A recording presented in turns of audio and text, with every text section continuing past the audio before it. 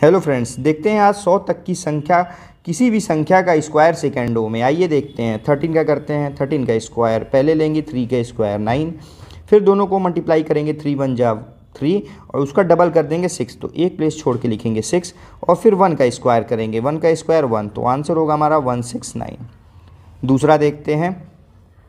हम दूसरा देखते हैं ट्वेंटी सिक्स का।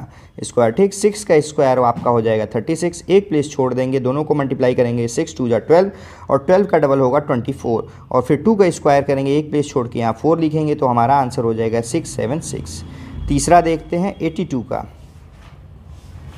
टू का स्क्वायर हो जाएगा, फोर और एट, टू जा सिक्सटीन, और सिक्सटी टू सिक्सटीन का डबल होता है थर्टी टू तो एक प्लेस छोड़ के लिखना है थर्टी टू और एट का स्क्वायर होता है सिक्सटी फोर फिर एक प्लेस छोड़ के सिक्सटी फोर लिखेंगे हमारा आंसर होगा सिक्स, सेवन, टू, फोर। आप के लिए टास्क है तीसरा फिफ्टी सिक्स का स्क्वायर आप करें।